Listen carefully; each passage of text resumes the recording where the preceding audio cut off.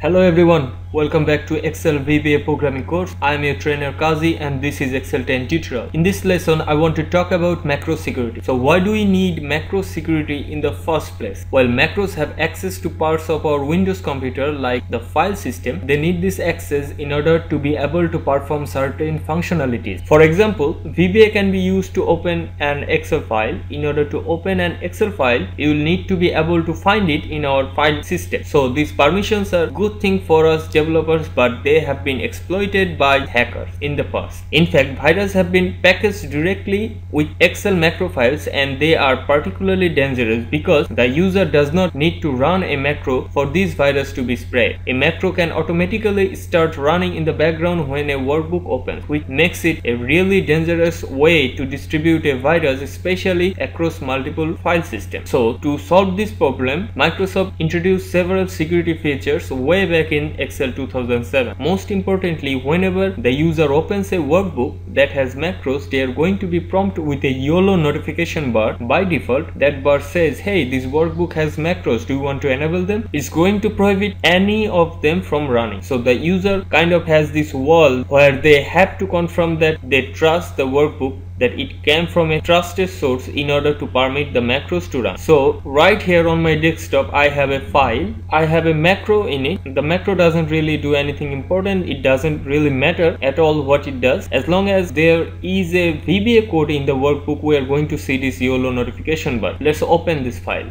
That's it, there you go. You see here is the YOLO bar that says security warning macros have been disabled so macros cannot run. Only when we click enable content all of the macros is going to be enabled. Only then the macros can be run. So where is this security option actually configured? Well if you go to the developer tab and click on the macro security we're going to get this trust center dialog box pop up and under here the macro settings is where that setting is actually configured. We have four total option available here. The standard default one is disable all macros with notification and that's exactly what we are saying. All macros are disabled but the user is notified and once the user gives permission by clicking enable content then the macros are enabled. The option above is that disable all macros without notification. Obviously this option is not going to work for us in this course because then we won't be able to execute our macros. So this is no good for us. The third option here, disable all macros except digitally signed macros. Now this feature is more designed for advanced people or developers who rather like to sell their codes, who like to packages or VBA code in something like a plugin or add-on to add additional functionality to Excel. What they can do is register an account with Microsoft and provide essentially a token of authenticity that whenever you open their plugin or their program, the Microsoft confirms that the code has not been tampered with, it's authentic, that the developer is valid and can verify it through this digital signature. Now this is a long process for us. We just want to start coding and we don't want to register with Microsoft Excel. We don't want to start selling our code to other people. So this option is a little bit more complex for us and we don't need it as well. Finally, the fourth option here, enable all macros and you can take a look at here in the parentheses, not recommended potentially dangerous code can run. So this is very dangerous because as I mentioned, if a macro includes some kind of malicious content, it can run automatically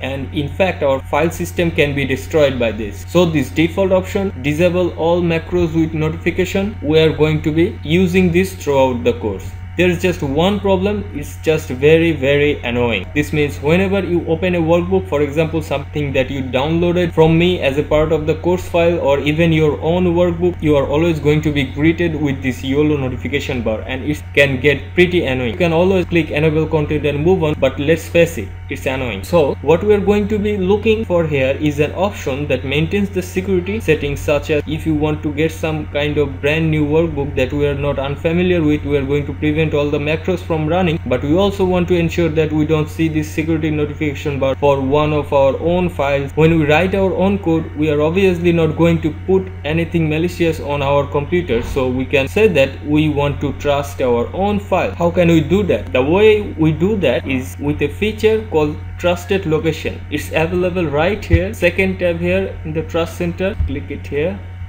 now, trusted location is essentially a folder or directory on your computer that level as safe. So, Excel macro files or macro workbook that we put in these location will be trusted. When Excel opens them, it's not going to give us this security warning and that's a good thing because whenever we have a file in any other folder we're still going to get the security warning for example our downloads folder where we download other people's file can always give us this reminder. But any folder that we put here we can put all of our macro workbook files in here. And that way we can avoid this warning and reduce all of that redundant clicking. So how can we set this up? To do that we have to click this option here add new location.